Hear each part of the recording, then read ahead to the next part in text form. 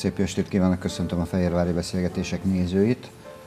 Nos, ma este három cserta a vendégem a Teremtés koronái, hiszen a hölgykoszorú már járt nálunk.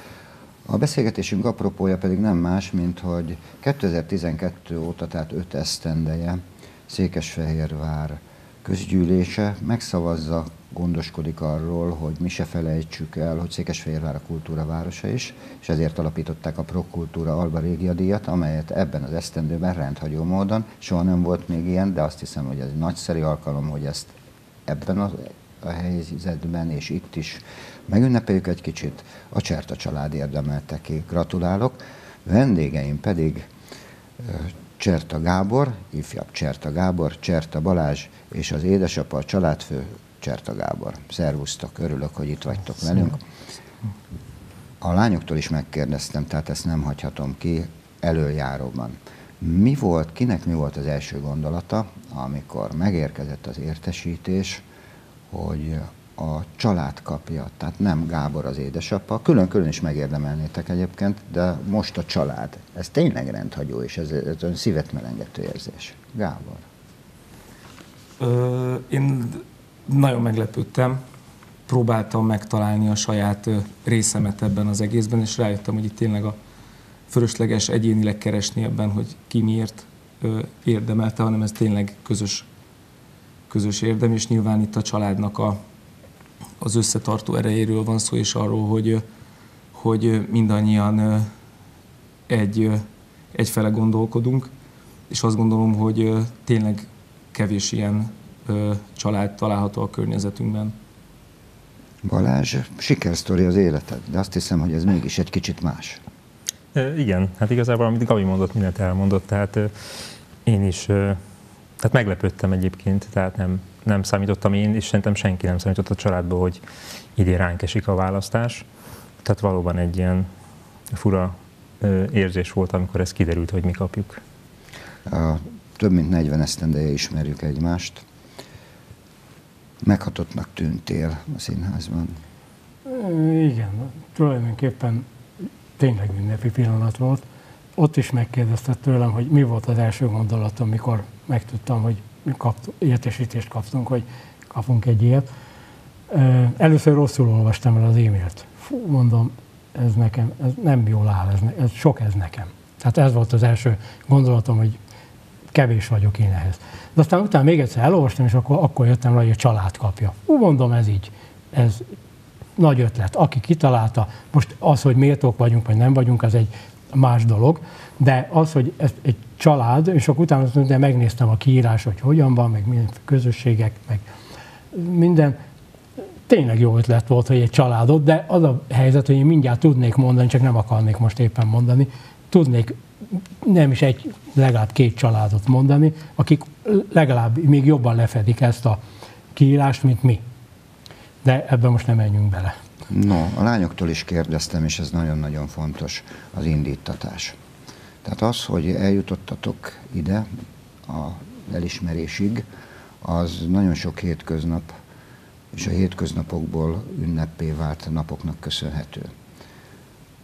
Ugye a művészi indítatásod mérnök ember létedre is megvolt alapból, hiszen onnét ismerjük egymást. Én még a gitáros fiatal Cserta Gábort ismertem meg amúgy. A törekedtél rá, törekedtetek rá Judittal tudatosan, hogy a, a gyermekek és fiúk és a lányok is valamilyen művészeti ágat válasszanak, valamit, ami a kultúrához, a zenéhez, illetve a tánchoz kötődik? Hát ez persze tehát ez teljesen tudatos volt, hogy gyerekek valami ilyesmivel foglalkozzanak. Aztán az úgy közben kiderült, hogy mindenki a tehetségéhez mértem fog ebbe megtalálni a saját helyét. Persze mindig vannak apai álmok. Ez, ahogy nézegetem a régi amerikai rockereket, tulajdonképpen majdnem mindenki megpróbálkozott a fiaival, mindenkinek basszusgitározott, a gitárosoknak a fia. Tehát aztán volt, akiből lett volt, akiből nem jött, nem lett de ezen mindenki úgy tűnik, hogy átesik ezen a fajta dolgon, hogy fú, hát beleálmodja a gyerekeibe azt, ami esetleg neki olyan nagyon valami miatt nem sikerült. Gábor elsőszülöttként Hogy kezdődött nálad? Mi inspirált? Hát én arra emlékszem, hogy apa oda ültetett körülbelül az zongorához, és akkor akkor zongorázunk. Aztán vannak ilyen ilyen gitározási emlékeim, meg furujázási emlékeim, meg rengeteg kudarc élményem ezzel kapcsolatban, hogy ez úgy nem nagyon megy. No csak és cserta és kudarc, ilyen is van? Van, hogy ne lenne. Van, no. van, van. Tehát én azt gondolom egyébként, hogy tehát a, a zenét magá, nyilván úgy nőttünk fel, hogy ilyen nappal a zenét, emlékszem rengeteg vasárnap reggel, amikor csöndbe kellett közlekedni, mert apa éjszaka muzsikált, akkor még, még csönd, csönd legyen, ha tudjon pihenni. De hogy a hangszereket szerintem, tehát legalábbis nálam, én nem, nem én kezdtem el birizgálni, hogy hú, ez érdekes lehet, hanem ő, ő adogatta a kezembe, próbált tanítani, de valahogy nekem ez, ez nem, nem, nem pont ez lett a, a pályám. Mm, aztán ö, utána később már, ö, ami, hát ez, ilyen, ez ilyen alsó tagozat, és akkor utána jött a néptánc része a dolognak, sok sport kitérő után, ahol szintén nagyon voltak sikerélmények, és akkor gimnázium alatt sikeresen eltörtem életem első síelésénél a, a sípcsontomat, és akkor volt egy fél év tánc pihenő, és akkor a Varró Janó találta ki, hogy, hogy hát figyelj, hát nagybőgő, népzene, és akkor, akkor utána elkezdtem a zenéskolában egy két évet nagybőgőzni az úgy érdekes volt. Balázs, a te utat tulajdonképpen mondhatjuk azt is, hogy kikövezett volt. Viszont a hangszerválasztásnál már, igaz, hogy már beszéltünk erről, de azért ismételjük meg, azért az teljesen más hangszert választottál.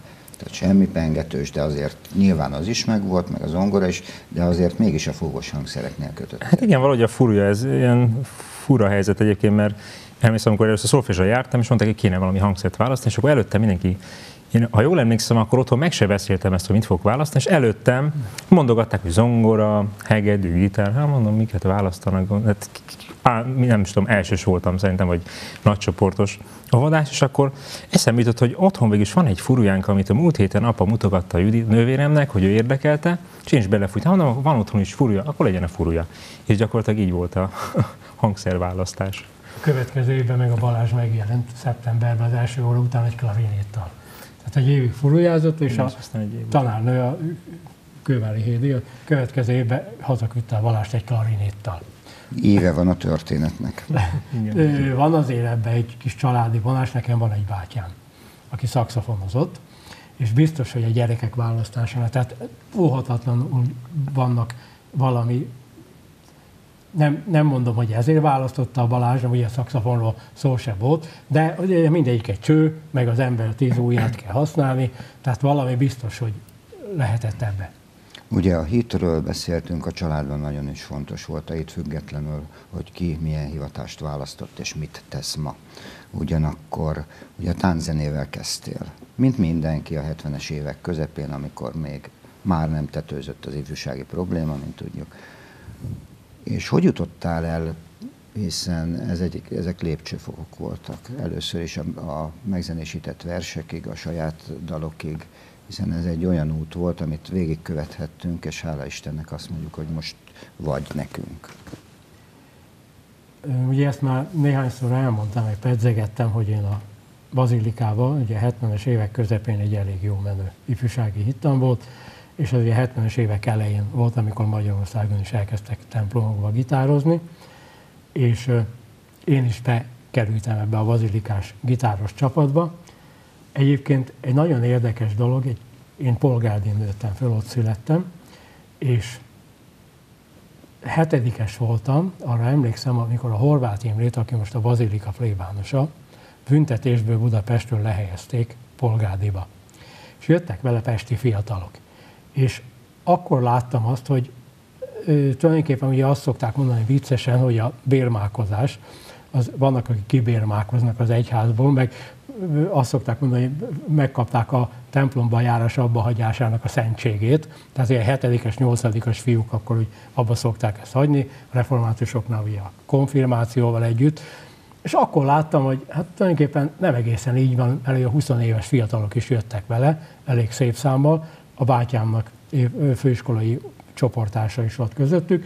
Nem, nem, nem arról van szó, hogy az 13-14 éves korban abba kéne hagyni, nem a gyerekeknek, meg az öregasszonyoknak az ügye ez. Ezek szerint akkor láttam, és hát ugye a 70-es évek elejénre jutottunk, közben én már akkor gitározgattam, és bekerültem ebbe a gitározós, templomos gitározós világba.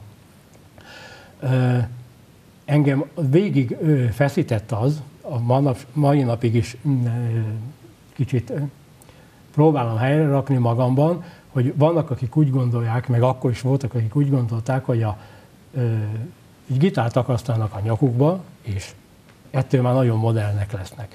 Na most azok a gondolatok, meg azok a dallamok, azok a harmo, az a harmónia világ, amit használnak, az nem biztos, hogy megfelel 2000-nek, 2021. századnak, 2017-nek, hanem hát bizony meg kéne keresni a mondani valónkat, és engem ez feszített mindig, hogy én nem szeretnék. Egy példát mondok erre, sokan emlékeznek még a Kósa Ferenc Kósa atyára, aki a Bazilikával volt a Cecília Kórus karnagya, de ugyanakkor egy országos szakember, országos nevű szakember volt, a Cecília Egyesületnek is elnöke volt. És amikor készült a új magyar katolikus népénektár, most már nem, vagy 25 éve adták ki, de ezt vagy 10 évig gyúrták, hogy mi kerüljön bele. És őt a világból ki lehetett üldözni a gicses cikis népénekekkel. Tehát nagyon sokat harcolt azért, amit én tudok erről, hogy mik kerüljenek be ebbe a népénektárba, minek kerüljenek bele. Na most sajnos ebbe a gitározós világban is van egy csomó olyan ének, amitől a Kósa atya mai napig valószínűleg forog a sírjában, hogy ilyen ízléstelen, bugyuta, hát egy kicsit a népi vallásosságnak megfelelő, de sajnos vannak, akik azt gondolják, hogy ezt tovább kéne éltetni gitározás címszó alatt. Nem szeretnék ebbe belebonyolódni jobban, csak engem ez feszített, és szerettem volna valami olyat énekelni, amivel én egyet is értek. Így is történt. Gábor, a, voltak dilemmáid pályaválasztáskor, hivatáskereséskor? Hiszen a, nagyon sok minden foglalkoztatott, és nagyon sok mindent csináltál jól. Ennél rosszabb nincsen. Azt mondják, azt mondják, hogy ennél rosszabb nincsen. Igen, ennek az ellentetje, hogy nincsen rosszabb, mint amikor a tehetségtelenség kitartó szorgalommal párosul. Igen. De a, a, hát a, nekem az első sikerek egy hetedik ö, osztály környékén néptáncból mm, akkor éreztem, hogy körülbelül ez az, amiben úgy viszonylag jó vagyok, és így jól érzem magam. És a gimnázium alatt rengeteg nagyon klassz élmény volt az Alberga Néptánc Együttes utánpótlás csoporta tagjaként, a juniorként, junior csoportban, és akkor a Török Sanyi volt a vezetőnk, és valahogy nem tehát annyi, valamiért teljesen egyértelmű volt, hogy, hogy e, e, ezzel szeretnék foglalkozni. Balázs, hiszen a, a zene a mindened, a zene az életed reggeltől estig, ha úgy tetszik. De a Balázs táncolt Ja, rendben van, csak én most a, a, műf, a műfajról, igen, a döntés igen, felelősségéről szeretnélek kérdezni. Egyik oldalról nincs Fehérváron talán olyan formáció, amelyben nem fordultál még meg, vagy, vagy majd legközelebb nem ott foglak látni, amikor vagy még sohasem. Ez hogy alakult ki? Hiszen, és ráadásul ezek rangos formációk. Tehát nem csak amerre a szél fúj. Igen, hát mint apa is tehát mondta, hogy, hogy én is táncoltam tíz évig, és vala, valahogy, tehát egymás mellett ugye ment a kettő, mert gyakorlatilag bekerültem abba a, a zenekarba, ugye Galibába, aki az Alva régiánál a, az utánpótlást ugye kísérte, és voltak olyan fellépések, ahol az egyik koreográfiában táncoltam, a másikban pedig zenéltem. És akkor emlékszem, hogy, hogy hogy egyszer csak volt egy olyan, olyan néptánc fellépés, amire el kellett mennem, aztán kiderült, hogy ott nem volt párom. És aztán így elhatároztam, hogy, vagy nem is elhatároztam, hogy megfut a fejembe, hogy hát nagyon szeretek táncolni, tehát a mai napig, de akkor úgy elhatároztam, hogy, hogy nagyon sok táncos van, de hogy én akkor lehet, hogy inkább én zenésznek kell lennem. Tehát erre az, e, erre az egy momentumra emlékszem, ami így nagyon meghatározó volt. De igazából nyilván, hogy a, amikor apával együtt muzsikáltam, illetve hát akkor már ugye szintén egy-két zenekarban muzsikáltam, val- valahol a zene az, az közelebb állt hozzám. És a jazz tanszak, illetve a népi fúvós tanszék, ez a kettő kiegészíti egymást, de nem oldja ki sohasem. Nem, nem, nem. Nyilván hiszen mindegyik a, ugye a jazz is valahol népzene, tehát ugye az afroamerikai népzenéből alakult. Gondolkodom rajta közben, azt fogom kérdezni, hogy hogy jut időt mindenre. Közben mi Gáborral pedig arról fogunk beszélgetni, hogy a Vörösmarty Társaság, ugye ez már a közelmúlt tulajdonképpen. Nagyon-nagyon fontos neked, nekünk is, minden székesfehérvári irodalom kedvelőnek. Tehát nem tudunk már meglenni, és nagyon komolyan mondom, hogy bevezetőként ne halljunk egy eh, megzenésített csertaverset. Ez honnét jött? Mi volt az indítatásod? Eh, a Péntek Imre valamikor a 90-es évek elején akkor én már írogattam, tehát készítettem dalokat, a Dinnyist elhívta egy sorozatra. A Pelikán galériában volt ez, és ott 8 vagy 10 alkalommal volt, ahogy az addigi dolgait a Dinnyi is énekelgette. Figyelgettem, hallgattam, és hogy tulajdonképpen kedvet kaptam, hogy hát föl kéne magam pörgetni egy kicsit, tulajdonképpen ebbe a világba lenne nekem valami keresni valom. És a versek pedig onnan jöttek, ezt mindig el szoktam mondani, hogy ugye az ember otthon üldögelhet a szobába, és csinálhat bármilyen csoda dolgokat is, ha valahol nincs lehetősége megnyilvánulni, valakik nem mondják neki, hogy gyere már el, akkor nem tud megnyilvánulni. Ezért a népművelőknek, akik annak idején bálokat szerveztek, például hatalmas köszönettel tartozik az ember, mert megszervezték azt az eseményt, ahol lehetett ahol lehetett bulizni, vagy lehetett zenélni. Következő, mindig el szoktam azt is mondani, hogy nagy köszönettel tartozom a Bakonyi Pistának, meg a Bobori Zolinak, mert ha ők nem mondják, hogy figyelj, itt ez a vers, nem akarsz vele foglalkozni, vagy figyelj, legközelebb jön ez a költő, vagy az az író, nem akarsz a könyvével foglalkozni? Tehát valami kényszerpálya kell az embernek, és ráadásul kellenek valaki ember, valakik, akik azt mondják, hogy figyelj, gyere már el.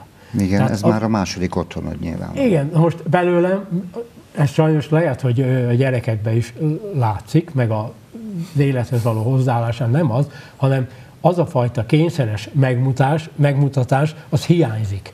Tehát az, hogy azon szoktam nevetni, hogy az autóm oldalára például nem festem. Volt, volt egy, kord, egy időben kord zenekar volt a zenekar, amiben zenétem. Na, nekem azért ciki lenne fölfesteni az autó oldalára egy kord zenekar. Tehát ez az amerikai is, amerikás, önreklámozós, nyomulós dolog, ez belőlünk hiányzik. Nem kell, úgyis itt vagyunk. nem, de, de érted, tehát nem tudnám elképzelni, hogy ezt föl, fölfössem az autó oldalára, hogy most ezt hirdessem. Nem És, de ugyanígy nem tudok oda menni valahova életembe. Nem mentem oda soha, hogy én most ide jönnék zenélni. Tehát megadta Jóisten azt a lehetőséget, hogy mindig úgy szóltak. Tehát van. Tanús, Egyébként... Tanúsíthatom. De egy kicsit most menjünk tovább. Még hagylak gondolkodni az elmenti kérdésen. Ugyanakkor Gábor, a honlapodot, amit egyébként a színházban is megemlítettek, azért hozom fel én is. Balaton, vitorlázás, fotográfia, színház, folklór. Ez a folklórról az rendben van, a színház nem különben, hiszen én néptáncpedagógusként az egyértelmű, hogy a pódium, a színház az egy nagyon fontos. A Balaton és a vitorlázás és a fotográfia, ez a három kifejezés, tevékenységi kör, ami mind egy gyönyörűséges, szép, a magyar tenger az egyértelmű, a vitorlázás egy nagyszerű sport, hát a fotográfia meg még inkább azt hiszem, hogy illendő ezt megmutatni, megörökíteni. Gimnázium, Bugát Pál gimnázium, ketten voltunk fiúk az osztályban, és így technikórán úgy furcsán éreztük magunkat, amikor a lányok vartak, meg mindenféle egyéb kézügyességes foglalkozás volt, és akkor mi kit láttuk a, a Gergő osztálytársammal az iskola folyosóján, hogy van egy ilyen fotolabor. És akkor addig nyagattuk a technika tanárunkat, az újvári tanárulat, amíg ö, lehetőségünk volt, hogy akkor minket megtanított ö, előhívni.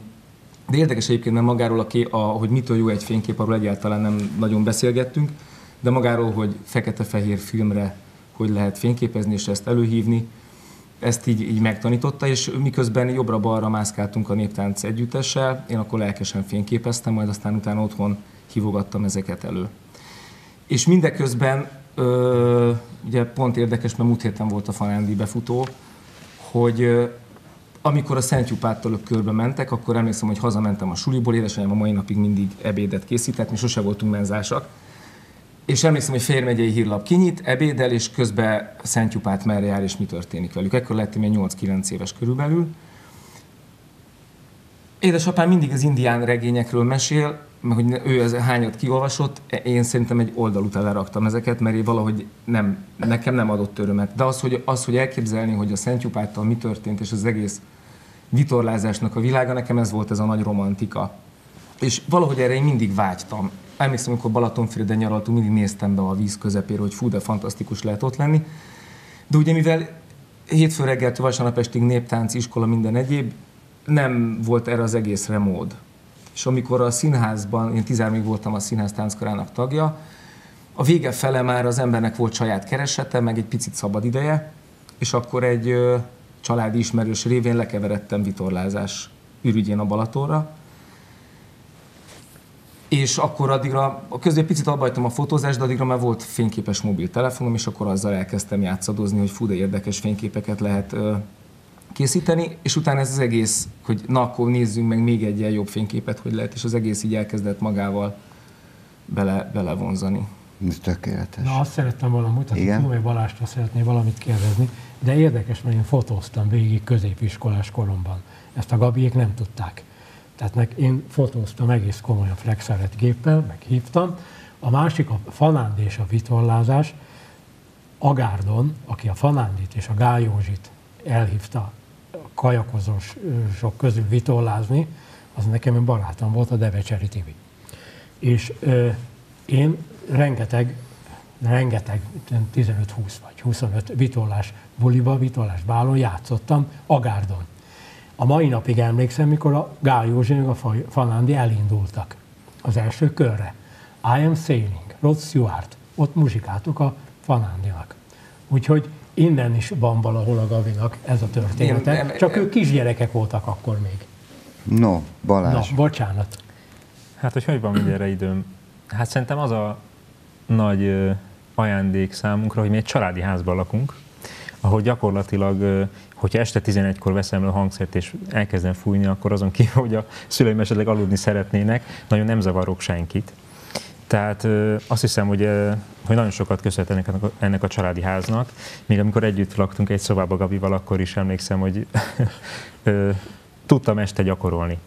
De én ezen így gondolkoztam egyébként az elmúlt pár évben, így néha így, így eszem jutott, hogy néha, néha jó volna egy ilyen 8 órás munkába, hogy reggel 8 elmenni, délután 4-kor hazamenni, és akkor esetleg a hobbinak élni, de hát gyakorlatilag nekem a, a munkám a hobbim. Tehát egy hétig, egy hétig jó lenne, igen, igen, pont ezt akarom mondani. De aztán persze, amikor ezen végig, végig szoktam gondolni, akkor egy percen rájövök, hogy ja igen, de hát én azért a zenének sokkal, sok mindent köszönhetek.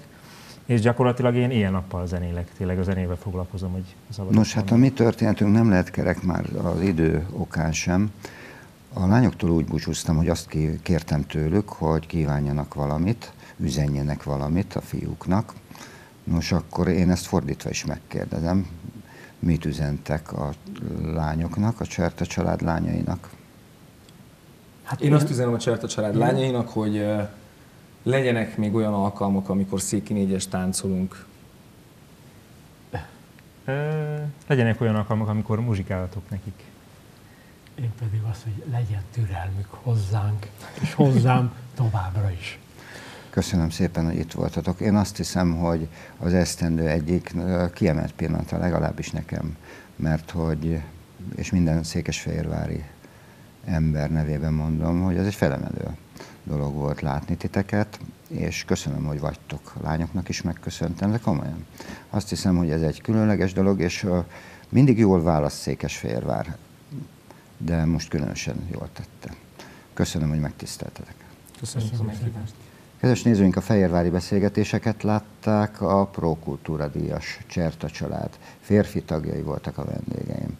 Cserta Gábor, Cserta Balázs és ifjabb Cserta Gábor. Köszönöm megtisztelő figyelmüket, maradjanak továbbra is velünk, minden jót kívánok, viszontlátásra!